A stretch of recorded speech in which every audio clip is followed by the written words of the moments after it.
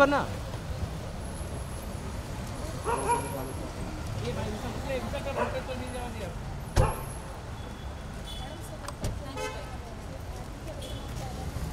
पीछे पीछे आते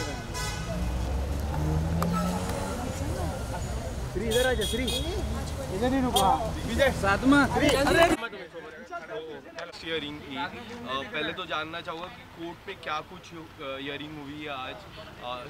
जज से क्या हाँ उनकी बेल नहीं हुई और उनको डायरेक्ट कस्टडी में और जेल में भेज दिया। ओके जी। आज यू नो आपका मेडिकल था क्या कहना चाहिए अभी मैं अ, मैं गई थी। पाँच छः चार पाँच घंटा मेडिकल था और वो रिपोर्ट पुलिस के पास है। बस वो कोर्ट में पेश करेंगे। ओके मुझे मेरे पास नहीं है। और क्या कुछ आपकी मांग है? क्या क्या होने वाला है मांग वांग क्या है? मांग बस यही है कि आगे प्रोसीजर क्या रहेगा? मुझे नहीं पता है। मेरे एडवोकेट और पुलिस अपना काम कर रहे हैं। मुझे देश के कानून पर और पुलिस पे भरोसा है। क्या कुछ और सबूत आपकी तरफ़ से पेश होने वाले हैं?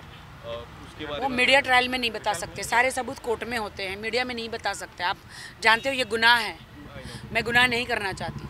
पुलिस है हमारी। पुलिस काम कर रही है। मुझे मुंबई पुलिस पर भरोसा है। इंडिया की पुलिस पर भरोसा है। सब अच्छा होगा और गॉड है। राखी जी कई हद तक रितेश जी भी सपोर्ट करते हुए रितेश जी सपोर्ट करते हाँ। हुए नज़र आ रहे हैं उन्होंने तो देखा है ना मुझे। वो काफ़ी सपोर्ट कर रहे हैं आपको। उसके बारे में आप क्या कुछ मैं शुक्रिया अदा करना चाहूँगी रितेश का क्योंकि मैंने भी उनके साथ कुछ वक्त गुजारा है गोल्डन मोमेंट उन्होंने मुझे देखा है कि जो इल्ज़ाम आदिल ने मेरे पे लगाए हैं तो वो इसीलिए वो सामने आए कि नहीं राखी ऐसी नहीं है। तो ये मैं मैं शुक्रगुजार हूँ रितेश की। उनका इंडिया में आना क्योंकि अभी ऑस्ट्रेलिया में एक हमारी जिस तरह हमें इन्फॉर्मेशन आप उनकी इंटरव्यू लीजिए ना जी। तो वो अगर इंडिया में इंडिया आने की संभावना कितनी है उनकी? आपकी आपकी बात हुई इस दौरान? आपकी कुछ बात नहीं मेरी कोई बात नहीं हुई। मुझे मैसेज आया कि मैंने एक बस ऐसे ही बस मेरी नहीं ज़्यादा बात हुई है उनसे। वो कंसर्न थे इज़ वेरी सैड अबाउट मेरी मॉम एक्सपायर हो गई। आदिल के घर वाले के कोई संपर्क कर रहे हैं आपको? कोई बात करने की कोशिश? कोई बात नहीं करने की कोशिश कर रहा उनके घर वाले मम्मी या फिर एक कल आया था एक बार उनकी मम्मी का फ़ोन क्यों कर रहे हो? मेरे बेटे पे केस ये वो मैंने कहा मैंने आपको कितनी बार समझाया था। आपका बेटा ही नहीं समझ रहा। मैंने आ, आ, उनकी माँ को बोला उनकी आंट को बोला छोड़ दो छोड़ दो। सात महीने से वो बस यही बोल रहे वो है बच्चा है ये बच्चा है। नहीं। तीस साल का ऐसा जुल्म करता ये बच्चा है। फिर भी उनके कहने पे मैं हमेशा माफ़ कर देती थी। का, काफ़ी सारी बातें आ रही मेरे श- शरीर जो मेडिकल हुआ है वो पुलिस से पूछिए। हाँ और ठीक डॉक्टरों से पूछिए बस। मैं क्या कुछ मेडिकल हुआ? वो नहीं बता सकेंगे वो वो नहीं बता पाएँगे। मैं जा रही हूँ।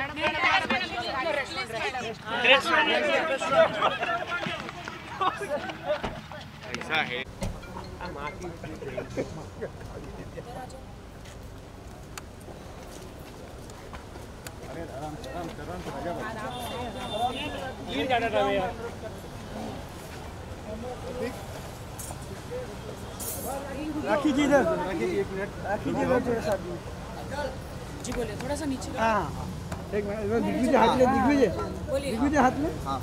बस यहीं पे खड़े रहो भाई। अम्बानी बोझ। अरे पूछ ले यहीं से यार माइक पूछने दे पागल है। रुक जाएगा ऑक्स लगा ठीक है राखी जी। राखी जी आज आपका मेडिकल हुआ और आज कोर्ट की पहली हियरिंग भी थी। पूरे दिन के बारे में आप क्या कुछ कहना चाहोगे?